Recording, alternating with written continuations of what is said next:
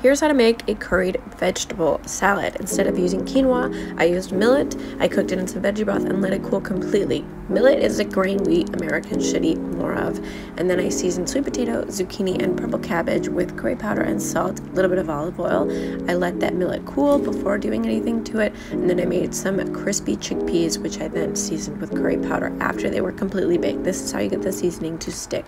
I prepared the salad for meal prep, so I added some arugula, a bed of any greens works, the vegetables, the millet, the chickpeas, some raw radish, some hemp seeds, and some avocado. This salad was delicious and it would normally cost you like 15 to $18 at a restaurant when you can prepare it for the same price for like seven days at home. I dressed it in some tahini, soy sauce, garlic powder, salt, and pepper. Super good.